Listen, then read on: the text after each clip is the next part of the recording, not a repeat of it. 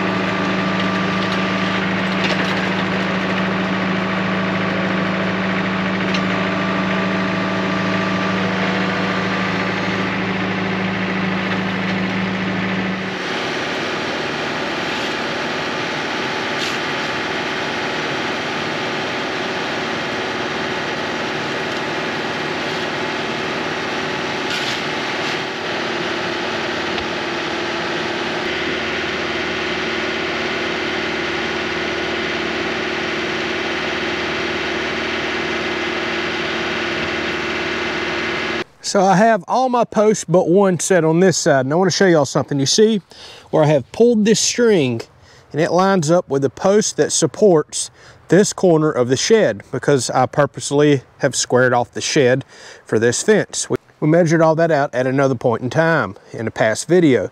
Got another rebar stake right here that my string line goes to and I know that this direction my fence is nice and squared up with the front porch of the house. We didn't show how we measured all that. I've got my holes roughly 40 inches deep, which is a bit overkill, but again, we're trying to make a very strong fence here. We catch a lot of wind from thunderstorms, tropical storms, and hurricanes. I'm also putting six by sixes in, which is definitely overkill. Most people do four by fours. So at the bottom of those holes, you seen I just put a loose fill gravel down there. You see all the different size rock that's in it but I'm a huge believer in putting gravel in the bottom of a post hole when you use concrete, which I'm gonna use. That's something else a lot of people don't use on a fence. They just put a 4x4 in dirt and call it good. And they wind up with a lot of shifting and the fence looking like this after it gets caught in really high winds. Concrete can be controversial, I'm not denying that, but I've had really good luck for my entire life putting concrete around post and holes. It adds weight and heft to the post and really locks it in solid for all the banging and screwing that we're about to be doing on it over the next day or so. But I do not believe in putting concrete around a post without a good gravel base for drainage. Post will absorb water, concrete will absorb water, and you need somewhere for it to go or you will rot your post out. That's why I'm a firm believer in packing gravel, several inches of it in the bottom of a hole so it doesn't seal off with some of the clay that we have in our soil. You can see we start getting a lot more clay over there. So we're just creating free drainage. This is a personal preference for me. So what I'm gonna do now is pull this post to that string. Since that's my reference string, it's a nice straight line because I want this fence to be perfectly straight. And I'm gonna take my level, work my post around in the hole. As soon as I touch the string, I want the post to be nice and plumb straight up and down this way and straight up and down this way. So again, we get that perfectly straight fence. Then I'll pour a bag of concrete mix around this. I have had really good luck with just pouring a bag of dry mixed concrete around a post. Eventually it hardens up just due to moisture in the soil or rainwater. I'm gonna go ahead and wet it today with a garden hose so it's firmed up for us to work on tomorrow and put pressure against this. A lot of people say you need to mix up your aggregate, mix up your concrete with water before pouring. That's correct. If you want a super strong mix, that's what you do. We're just trying to set a post here. We're trying to add some weight to it, not overly concerned. If we were pouring the foundation of a house or a major structure, I always pre-mix and wet my concrete before pouring. But when packing it around a post, I prefer to pour it in dry, kind of move it around. You can still shift your post a little, get it perfectly plumb, and then I'll wet it up. Or if I'm just building a fence somewhere else, I'll let rainwater and natural moisture firm it up down the road. I've pulled posts out before doing this and they're always solid as can be. But again, to get the strongest mix possible for like a foundation, you always want to mix to your manufacturer specs ahead of time.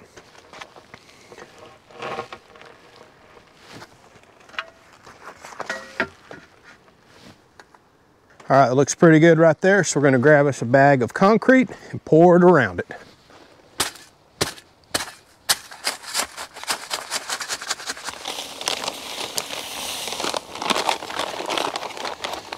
All right, I'll stop there while I can still shift my post around a little and we'll check. Still perfect.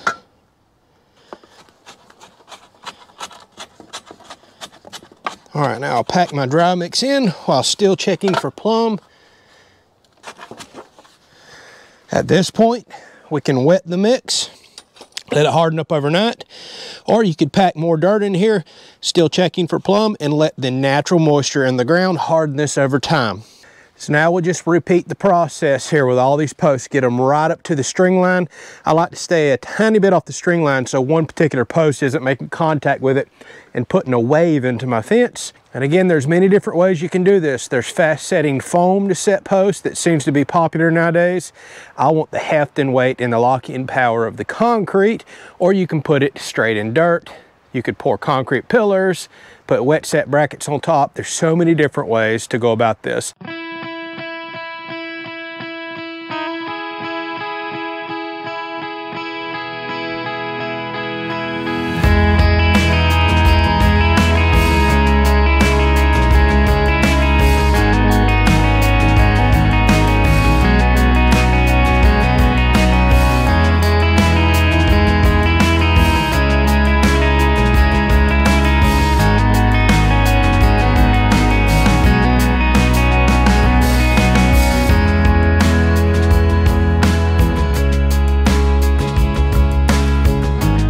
Let's have a discussion about these horizontal runners that we're about to put here to nail our fencing to. So if you have perfectly flat ground, it's gonna be so much easier for you to install those. I do not. There is probably 16 inches of ground change from this post to the one across over there.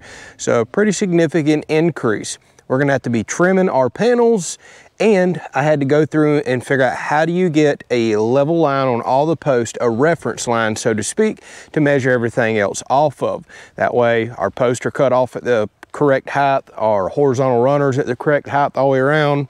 So there's a lot to that. I can't recommend enough get you one of these very cheap laser levels. I'll put a link down in the description. I got mine off of Amazon years ago.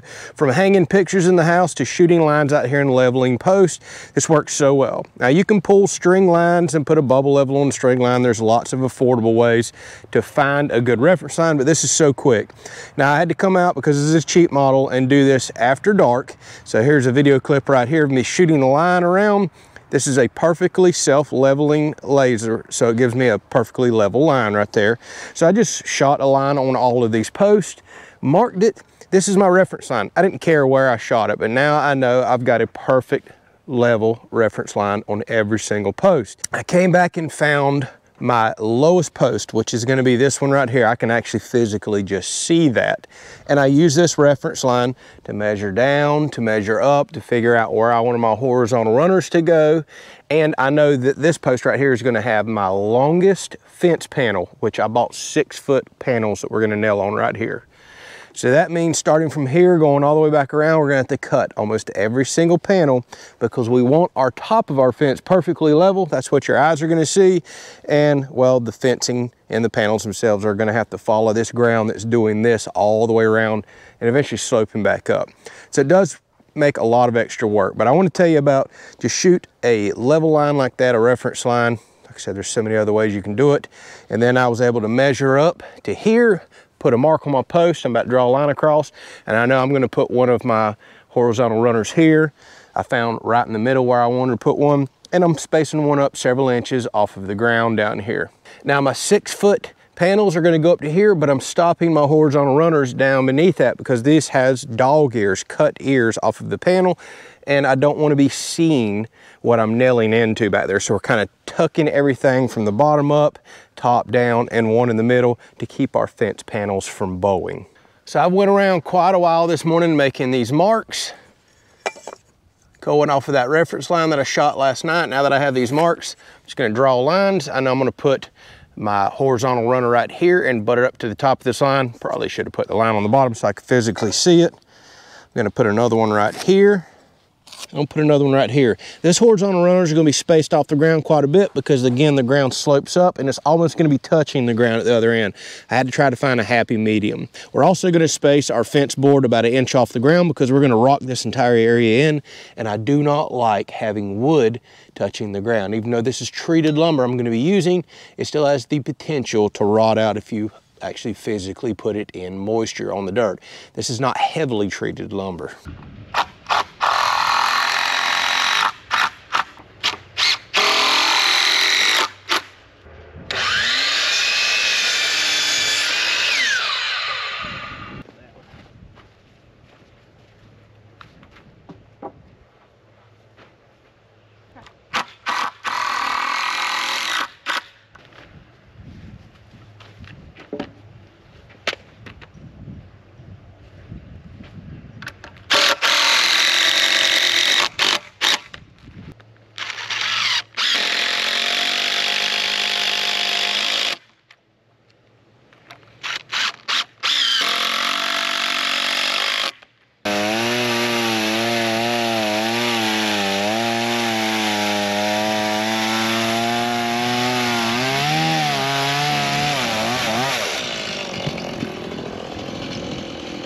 So you can see I just got a pallet load in. This is called a dog ear or a picket fence board, whatever you want to call them.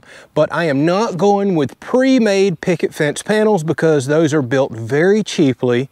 They're built out of lightweight materials and they have a tendency to pull loose, blow out, and it's just not something I want for a fence that I know is gonna experience some wind. Now these are roughly five and a half inches wide, six foot long. You can also get them in eight foot and I believe they're a 5 8 material right here. But this is a much thicker and bigger picket than those little pre-made panels. Try to stay away from those if you can, unless you're in an area to where you're just not gonna get much wind. So now we're ready to install these. I'm gonna show you what I did to the fence here to make it extra robust. That explains why I'm doing individual panels instead of the pre-made stuff. But before we jump into that, I wanna give our friends over at Cashway Building Products in Perry, Florida, a huge shout out. They delivered all of our fencing materials. The delivery driver always shows up when they say, they're always nice and friendly, and we've been trying to support small local American businesses on the channel here lately. So if you're in the North Florida area, stop by and see the guys in Perry, Florida at Cashway Building Products and help support your small local American businesses. All right, so let's have a quick discussion about these runners that I put up before we start putting our fence panels up. Very solid post will help me with wind resistance. I also put four inch number 10 deck screws in, no nails here because wood will expand and contract, mostly contract down here in Florida, and you'll wind up with gaps. Nails also don't hold very well. They have a lot of shear strength, but they pull out mighty easy, especially with drying wood. And I went ahead and upsized to a four inch screw that's gonna go deep into this post. I've got three per board. I went with two by sixes here. Most people do a two by four, which only allows you room to really get two screws in. I wanted a two by six, so I could get three, get some good friction going on back here. Only thing I might would have done different is got 16 foot two by sixes so I wouldn't have had seams or I could have staggered my seam and make a stronger fence. The reason I went with all the eight footers, I thought I was gonna be installing this by myself, but I wound up getting my wife to help me. So I could have handled 16 footers. That would be the only thing I would change. Now you can see the crazy slope we have in the yard. I wanted to keep all of these level on my bottom run, so we're real close to the ground down there, spaced out pretty good here. I don't want to space off the ground any more than that because you want good support behind the fence board that is going to eventually dry and I don't want to see any curling issues, but I'm okay with that. Same thing over here, very low to the ground. It drops and then we're back touching the ground over here. Okay, so I'm out working by myself today. I'm gonna use a nail gun to put one nail in top and bottom just to hold these in place. But again, I'm gonna come back and screw this in with shorter deck screws that'll go into this inch and a half two by six back here because I'm worried about drying, which is gonna happen with treated lumber, and cupping issues as the sun bakes this material right here. So I don't recommend nailing a fence like this, but just one quick nail especially since I'm working with such wide material, isn't gonna hurt everything to basically be a set of helping and holding hands for me, then I can come back and screw everything in. I'm also starting at this post because this is my longest board in what I've based the fence off of. Starting heading back this direction because we have a sloping ground, I'm gonna have to cut every single one of these as the ground slopes up. But you definitely wanna start at your lowest point with your tallest board. So if you look down at the ground, I'm gonna space these about an inch off the ground. Even with this being treated lumber, I do not like lumber touching the ground because this isn't a high treatment in a board like this. And we're gonna rock this area in. So when we come back and throw the rocks up to it, a little bit of a gap that I'm leaving down there, you're not even gonna see anyways. All right, so this is quite straightforward. Just gonna start at the end of the fence, space off about an inch, get everything close. Pop one nail in the dead center up top here.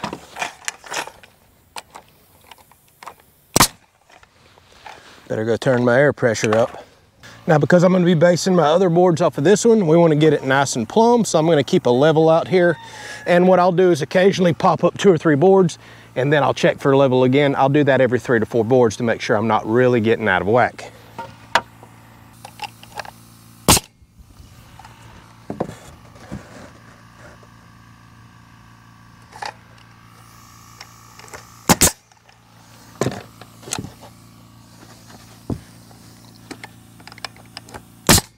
Now, I'm not worried about speed here. I want my job to look good. You can pretty easily eyeball the top, or you could even build a little jig out of, say, a 2x4 that can slide up and down the fence that you can butt your board in. That's more for production and speed. I have no issues taking my time to make sure this fence looks right.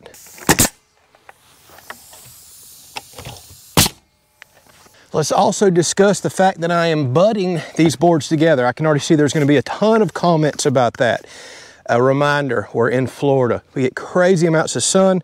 I see wood dry and warp all the time. Butting these together gives me no issues. I'm, this isn't the Pacific Northwest where it's cold, damp, and rainy. I'm not worried about swelling here. I'm far more worried about contraction. If you're in an area where you may experience a lot of cool temperatures and a lot of moisture, well, you may want to leave a gap in between your boards. A little nickel size gap, maybe up to a quarter of an inch. I have put up enough lumber in this state to know that if we can come back out here in a couple months after baking in the sun and there's going to be opened up gaps here, this stuff is really going to shrink. I'm putting up a treated board here so it has some moisture in it. So that moisture has to come out. The wood is naturally going to shrink. Speaking of these being damp and the treatment that's in them, we're also gonna let this fence dry out in the sun for a few months before we either stain or paint. We're still making our mind up. But if you're gonna stain, for example, you do not wanna stain fresh put up treated lumber. You wanna give that time to dry. We're doing the same thing with our entrance fence down at the driveway with our gate there. We're gonna let it probably dry about six to nine months in the Florida sun, then we're gonna stain it.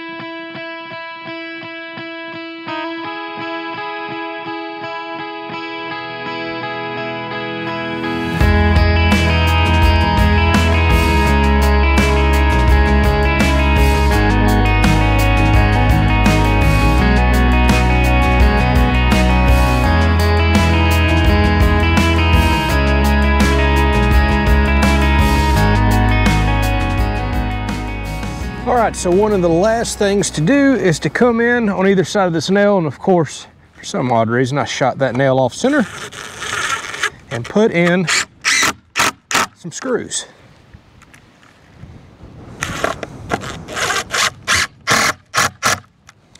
That'll really make this nice and secure. We'll do this everywhere there's a nail, so all three spots. Now I'm actually out of screws. I gotta run to town and pick up some more, but uh, you get the point there. Put two up here, two where you just seen, two in the bottom for every single board all the way around, plus the single nail that they have.